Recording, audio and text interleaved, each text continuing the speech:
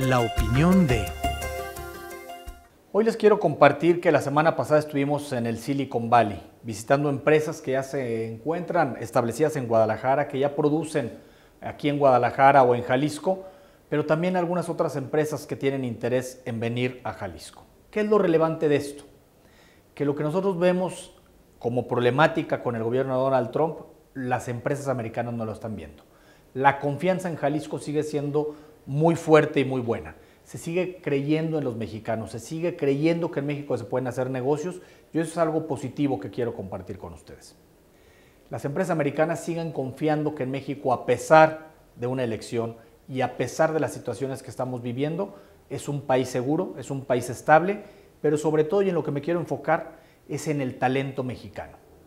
Todas las empresas hablan del talento mexicano, de las personas, de los ingenieros, de los financieros, de los técnicos que trabajan en las plantas y que están capacitados aquí. Hay una gran credibilidad por los valores que se tienen en la tierra mexicana, en la tierra de Jalisco.